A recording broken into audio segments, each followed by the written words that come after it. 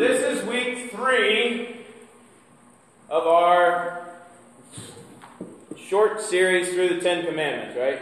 I'll bring back my picture that I've left sitting over here. My icon. It's not a picture, it's an icon, right? Of the Holy Trinity. What's my favorite part of this?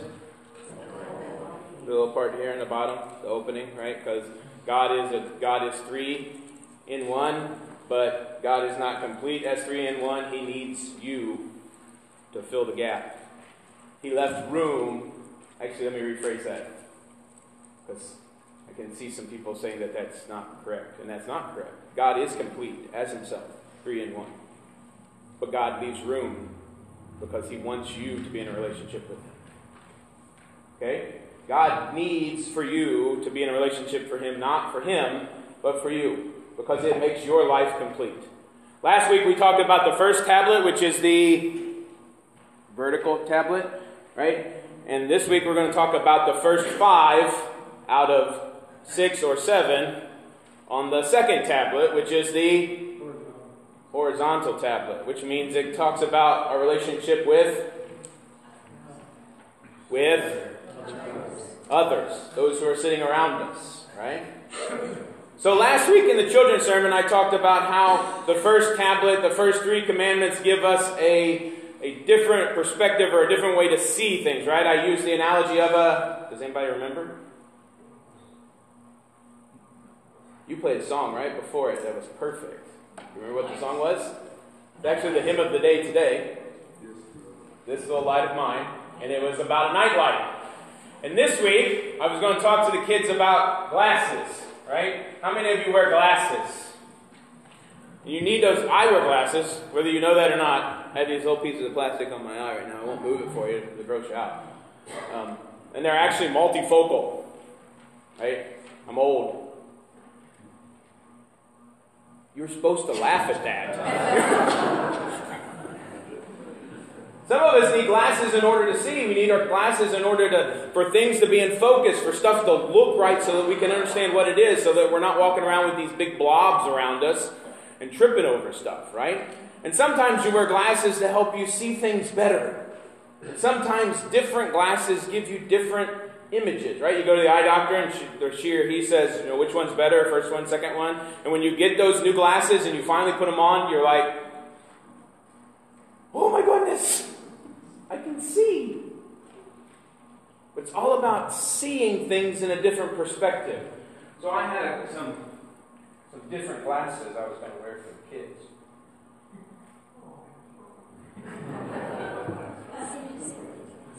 I can see through these. These are just they're just plastic, so it's not really that bad. Right? So things don't really look that much different to me through these. I look a little different to you, probably, in these glasses. Right?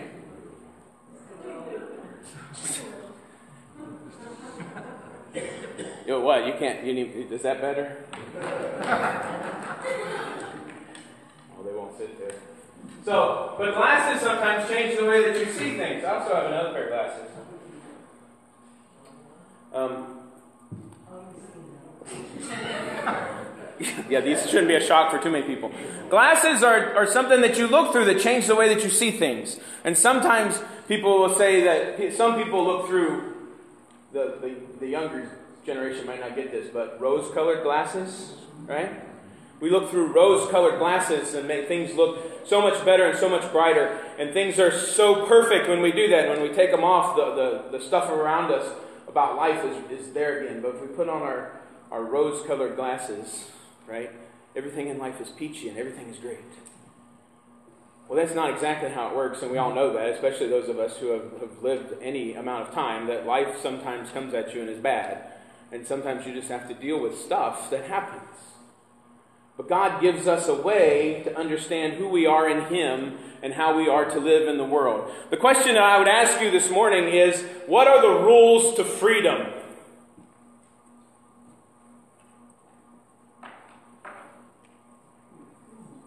What are the rules to freedom? Are there any? Obey the law? What law? Why, if I'm free, why do I have to obey the law? I'm not asking any questions anymore. right? What are the rules to freedom? We look at the Ten Commandments as things that we have to follow, as rules that we need to do in order to make us have the best life that we can have right here, right now. Right? Last week we talked about how the first three commandments tell us how to deal with our relationship with God. That God is our only God. That God is, is not, does not want us to have idols. He doesn't want us to put anything else in front of Him. That He doesn't want us to use His name in vain. And that He wants to, us to honor the Sabbath. Right? He wants us to rest one day a week. And we talked last week about how anything that gets in the way of us seeing God is the only thing that can provide everything for us is, the, is, is an idol. So if we take the way that we do things in life, or the way that we should do things in life, or that people do things wrong, or if we take even, I held up the Bible last week and said, even if we take this book and hold it to a stance that we think we're going to get everything out of it, that that then becomes an idol. These are things that get in the way of us. Religion can get in our way of understanding who God calls for us to be. And this week we see the, the first five out of the six or seven from the second tablet, right? Honor your father and mother. Do not steal, do not kill, do not commit adultery, do not bear false witness. It's real easy, right? How many of you can keep those?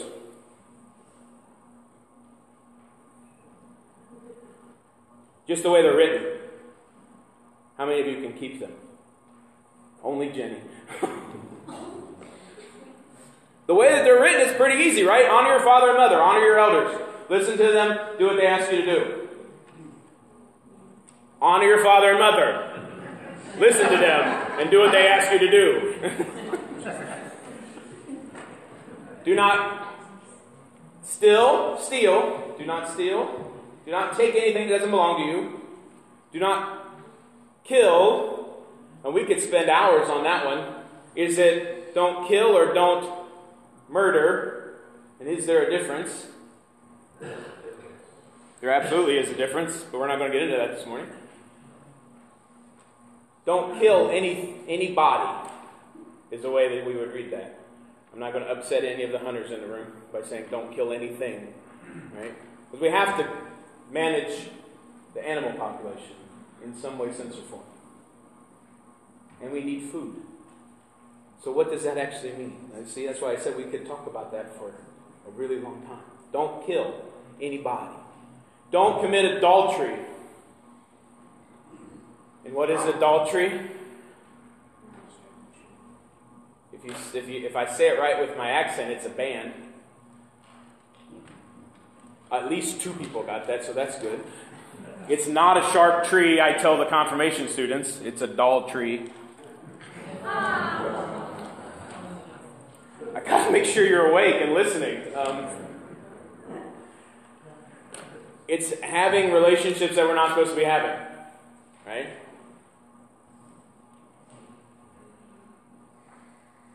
Do not bear false witness against your neighbors. What does that mean? Don't gossip. Thank you. Most people say when you start talking about that, what? Don't commit perjury. That's a that's a that's an even bigger word. But yeah, that's right. Right? Don't gossip, don't commit perjury. Most people will say instantly when, when I ask what that commandment means is don't bear false witness, they say don't lie.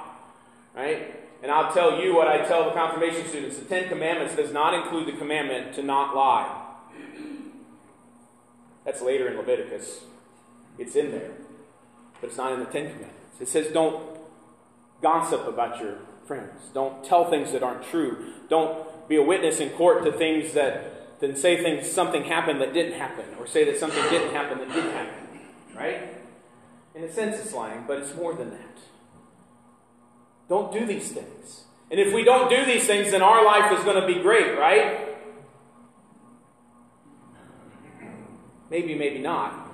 But who are these, these words really for? Are they for me to have a better life? No, they're for you. See, if I do these things to you, then I'm helping you have a really good life. I'm not taking any of your stuff. I'm not I'm not talking bad about you. I'm not killing you. I'm not I'm not doing things with you I shouldn't be doing with you. Right? It's not about my life. These commandments were given to the Israelites and to us so that we can love other people and know how God wants us to love other people. You see, and then if you take it to the stretch point that, that Jesus did, when Jesus said to the, to the Pharisees and asked him, what are the greatest, what's the greatest commandment? And Jesus said, love the Lord your God with all your heart, soul, and mind. And the second is like it, which is, love your neighbor as yourself. And where is that found? You say it's found in the Gospels, Pastor, because you just said that Jesus said it. But where did Jesus quote it from?